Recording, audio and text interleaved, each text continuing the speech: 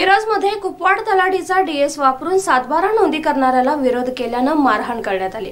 यामध्ये चंदन चव्हाण त्याचा मुलगा आणि चार जणांवर गुन्हा दाखल करण्यात आलाय. मिरज तहसीलदार कार्यालय इथं हा प्रकार घडलाय. कुपवाड तलाठी यांचा डीएस घेऊन अधिकार नसताना रणजित चव्हाण ही व्यक्ती सातबारा नोंदी घालत होती.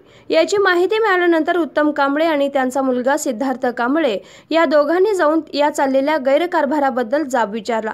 त्यानंतर दुसऱ्या दिवशी कागदपत्र घेण्यासाठी आलेल्या चंदन चव्हाण रणजित चव्हाण आणि त्यांच्यासोबत आलेल्या लोकांनी सिद्धार्थ कांबळे याला मारहाण केले. ही माहिती उत्तम कांबळे यांनी दिली आहे.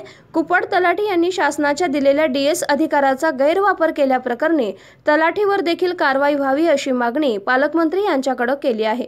या घटनेचा व्हिडिओ चित्रीकरण करण्यात आलाय. डीसीपी कोण डीएस तुम्ही कसं काय घेऊन आलात आता? कवळ्या अण्णांचा डीएस तुम्ही कसं काय घेऊन आलाय? सांगा. बोला आता मी व्हिडिओ चालू केलोय. तुम्ही कवळ्या अण्णांचा डीएस तुम्ही कसं घेऊन आलाय? आता मगाशी आहे. का आहे?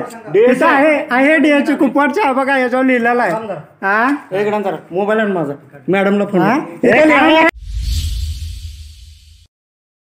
उपवाड या गावचे तलाठी किरण कवाळे यांनी यांना शासनाने सात बारा नोंद करण्याकरता दिलेला डी एस हा कुपवाडमधील चंदन चव्हाण यांचा मुलगा रणजित चव्हाण यांच्याकडे दोन मार्च रोजी संध्याकाळी साडेसात वाजता मिरज येथे नोंद घालत असताना सापडला.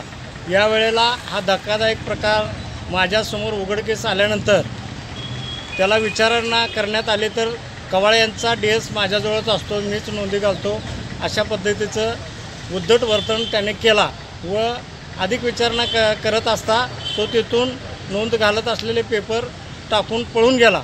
त्यानंतर काल तो पेपर घेण्यासाठी आला असता.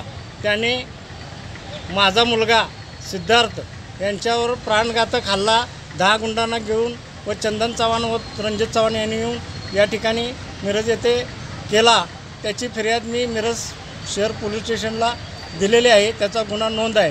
त्यानंतर आज मी सांगली जिल्ह्याचे पालकमंत्री नामदार जयंत पाटील साहेब महाराष्ट्राचे मुख्यमंत्री उद्धव ठाकरे साहेब त्याचबरोबर महसूल मंत्री बाळासाहेब थोरात साहेब यांच्याकडे निवेदनाद्वारे मागणी केलेली आहे की कुपवाडचे तलाठी किरण कवाळे यांना त्वरित निलंबित करावे व कुपवाडचा एजंट चंदन चव्हाण व रणजित चव्हाण यांच्यावर कडक कारवाई करावी अशा पद्धतीची मागणी निवेदनाद्वारे केलेली आहे व प्रत्यक्ष भेटून सांगलीचे जिल्हाधिकारी त्याचबरोबर सांगली मिरजेचे प्रांतसाहेब शिंगटे साहेब व अप्पर तहसीलदार पाटील मॅडम यांना प्रत्यक्ष भेटून निवेदन देऊन त्यांच्यावर कडक कारवाई करण्याची मागणी केली आहे.